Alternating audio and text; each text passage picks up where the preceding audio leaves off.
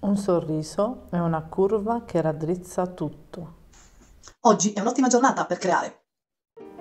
Tutto comincia con 6 pezzi di gomma eva dei colori che preferite. Io ho utilizzato queste fustelle cerchio relativamente di 6,5 cm la più grande, di cm 4 la più piccola, mentre la fustella con lo smerlo misura circa 4,7 cm. Ho fatto varie prove con le misure prima di poter ottenere un macaron discreto dalle giuste proporzioni.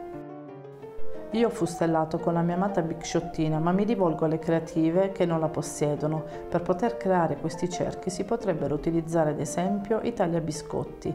Si preme sul pezzo di crepla e si ritaglia lungo i solchi ottenuti. Bene, adesso cominciamo ad incollare la crema, ops intendevo dire, incolliamo con la colla a caldo e uniamo i cerchi più piccoli. E adesso si stira, scherzo.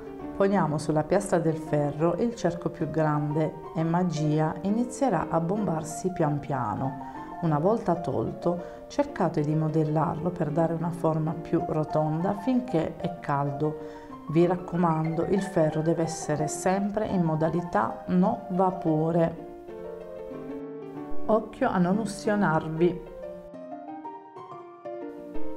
Ora sì che si comincia ad assemblare il nostro macaron. Mettete un filo di colla vinilica, mi raccomando solo un filo, lungo il bordo del cerchio bombato e poggiateci sopra il cerchio smerlato.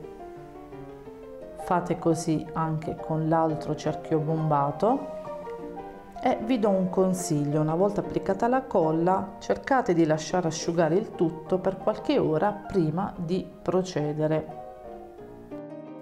Bene, adesso proseguiamo e facciamo il nostro macaron con la colla a caldo mettendo la crema al centro. Incolliamo un lato, incolliamo anche l'altro lato e voilà, non è adorabile? È bellissimo questo macaron, non trovate che somigli tantissimo ai macaron reali?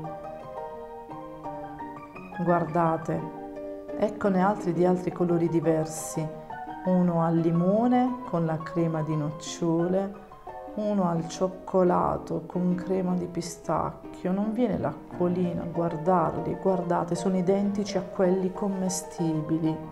Viene così voglia di mangiarli.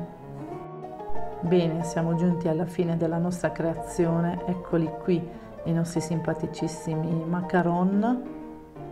Io ho cercato di metterli così, ops, sono caduti eh, si possono abbellire varie creazioni. Io ad esempio ho fatto questo portachiavi mettendo all'interno un nastrino